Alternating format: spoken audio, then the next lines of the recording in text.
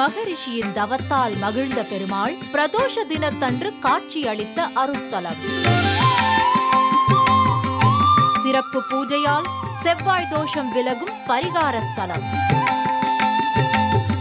காஞ்சிபுரம் சிங்கப்பெருமாள் கோவில் அருள்மிகு ஸ்ரீ பாடலாத்ரி நரசிம்ம பெருமாள் திருக்கோவில் தரிசனம். ஆலயங்கள் அற்புதங்கள். இன்று காலை ஆறு மணிக்கு மறு ஒளிபரப்பு மாலை ஆறு மணிக்கு. நமது புதியுகத்தில்